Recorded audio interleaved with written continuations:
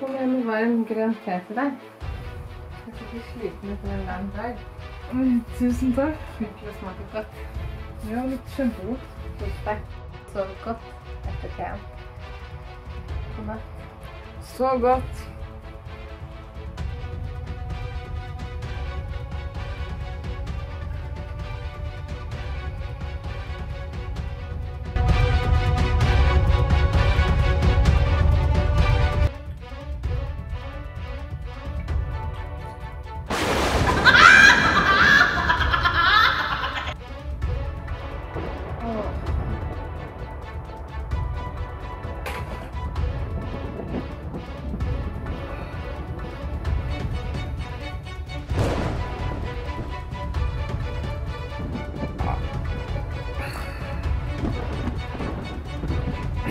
Hei,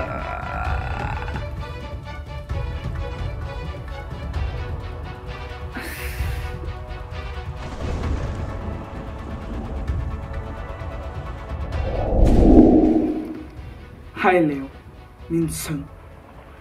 Nå er det veldig viktig at vi ødelegger julen sammen. Fordi nissen har vært veldig slem mot oss, så vi må ta hevn. Så godt, vennen min.